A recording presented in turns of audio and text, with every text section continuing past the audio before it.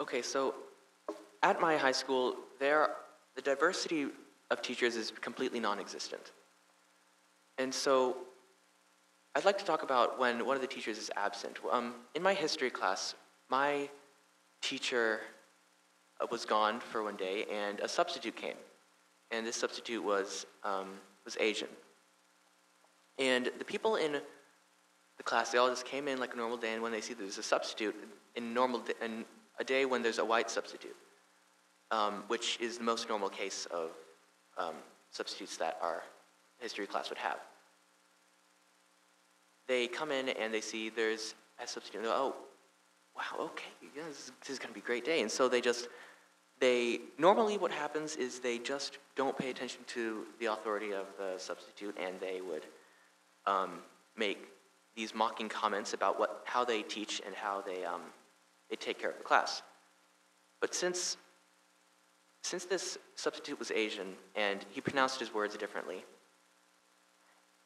the same people who are disruptive with the white substitute were disruptive with the Asian substitute, except they made the same comments but added a, a racial, a racial um, aspect to it and mocked how he said his words and how he um, didn't understand what they were saying or how he talked about, how he had like a little, um, how he talked about how he came to America at the beginning of the class.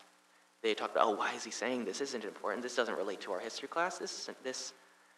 We should just not pay attention and talk about how he isn't doing anything right and how this isn't how the way it should go. We don't.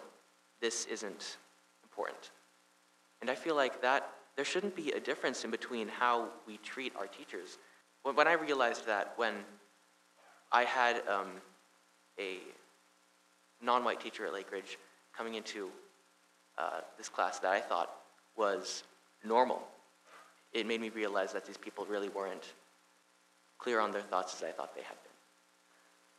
People use that use their definition of being in this bubble. The white people in this community, they they tend to use it as a definition to perpetuate these racist and biased norms, and like they'll think, oh, I'll get out of Lake Oswego. These students think, oh, I'll get out of Lake Oswego and it won't apply to me anymore.